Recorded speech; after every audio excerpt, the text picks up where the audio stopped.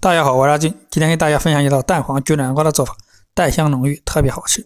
首先，我们准备一块老南瓜，从中间切开，然后把皮去掉，用刀切成四份。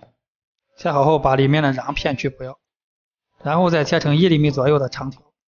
南瓜条尽量切大一点，如果切的太小的话会碎掉。切好后放在碗中备用。再准备四个蒸熟的咸鸭蛋黄。然后用擀面杖把它捣碎。这是我买的成品咸鸭蛋黄。所有食材准备好之后，下面开始烹饪。锅中加入适量的开水，然后倒入切好的南瓜条。水开后焯水三十秒，三十秒后把南瓜条捞出来。南瓜条不宜焯水时间过长。捞出来后立马放在凉水中冲凉。冲凉后把它放在罩里中控干水分。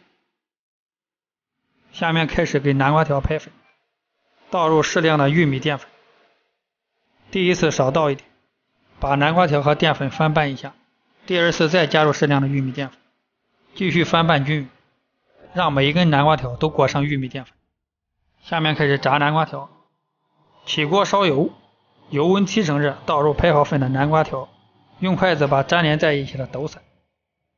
南瓜条炸制时间在一分钟左右。一分钟后，我们用罩里把炸好的南瓜条捞出来。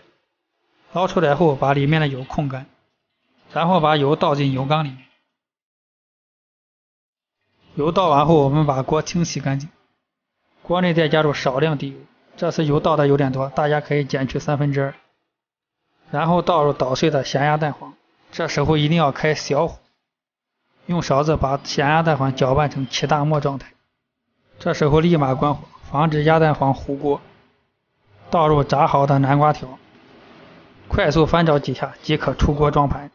一道蛋香浓郁的蛋黄焗南瓜就做好，喜欢的朋友可以试试。我是阿俊，每天一道家常菜，喜欢的记得点个关注。